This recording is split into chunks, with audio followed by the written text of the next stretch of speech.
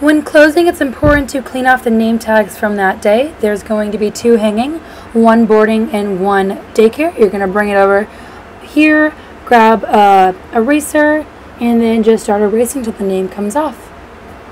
Once you're finished, you'll have two empty baskets and just walk them back over and place them so they're ready for the next day. Thank you.